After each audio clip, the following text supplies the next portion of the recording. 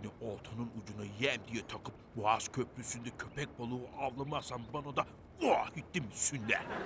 Ben ne yaptım ki vahit emmi? Ne yapmışmış? Şu halimize bak. Patlattığın 20 kilo onun parasını ödediğimiz yetmedi bir de dayak yedik.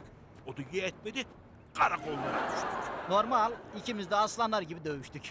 Evet. İki salak aslanı bulunca cümle dükkan esnafı ya Allah diye safarıya çıktı. Burnun kırmadıysa iyidir.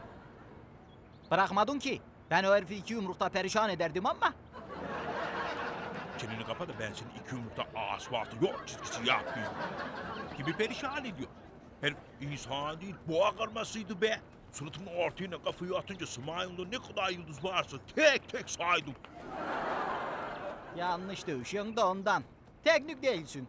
Dövüş sanatı teknik ister. Bak sen. Dövüş sanatları teknikeri olarak hipotezinizi biraz daha açar mısınız lütfen? Bak şimdi. Diyelim adam sana tekme tokat saldırdı. Evet. Aynen öyle yaptı boğa kırmaları. Sen hemen harekete geçmeyeceksin. Önce adamın iyice üstüne gelmesini bekleyeceksin. Beklerken bir sigara içebilir miyim? Olmaz. Adamın saldırı şeklini kavradıktan sonra hangi noktalardan karşılık vereceğini hesaplayacaksın. Sen hesap yaparken adam seni çarpıp bölecek, sen hesaplı kitaplı dayak yemiş olacaksın. Öyle değil. Kör saldırı en iyi rakibin karın bölgesine çalışarak savuşturulur. Nasıl yani? Bak şimdi. Şekil bu. Adam istediği kadar kuvvetli olsun, karnına teknik darbeyi aldı mıydı işi biter vahit emmi. Karnına mı vuracağız tekniği? Yalnız şimşek gibi hızlı olman lazım. Sen istesen o boğa kırmalarını tek vuruşta devirebilirdin be. Tek vuruşta ha? Hı. Tek vuruşta. Şimşek gibi ineceksin. İyice konsantre ol şimdi. Vur. Ulan! Yedim sizi boğa kırmaları! Boğa!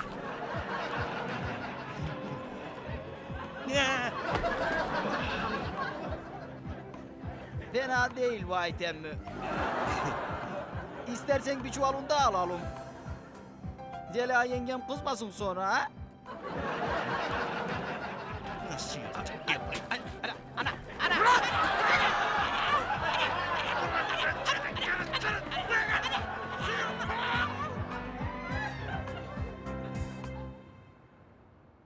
Şimdi adam vahit emmime saldırmaya kalkınca ben hemen öne çıktım. Adama şöyle bir bakınca adam olduğu yere mıhlandı tabii. Dedim dur bakalım hop dedim. Önce benimle dövüşmen lazım dedim.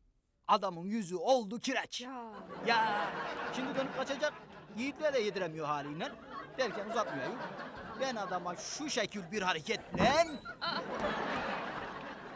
Siz daha hazırlanmadınız mı? Berat'la Asiye neredeyse gelirler. Sabit sabahki kavgayı anlatıyordu. Neyse en mühim yerini anlattım. Gerisi pek renkli değildi zaten. E sen yemeğe inmiyor musun? Yok. Aramızda kalsın. Vahit emmim kavgada biraz korktu sabah. Alışık değil tabii. Arkama falan saklandı böyle ya. Beni gördükçe sıkılıyor haline. Tabii. Pek ortalarda dolaşmayayım da unutsun. Hadi.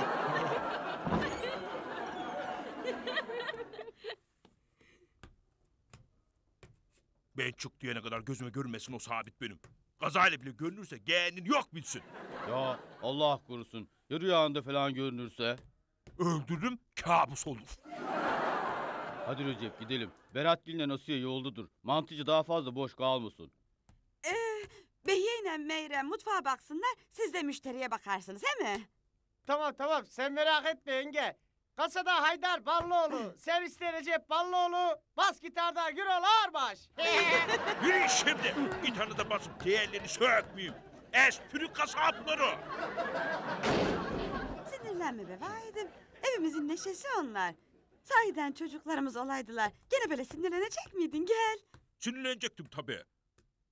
Sinirlenecektim ama yine de böyle için için gülecektim. Dragon yumruğuymuş. Come on ya kendilerini nimetten sayıyorlar be. Eh, ya bırak beğenden çekilsinler. Bambuk ile daş yontulmaz. Bambuk ile daş yontmaya kalkan adıma baba derler işte bezeliyor ha. Ah. ay, ay.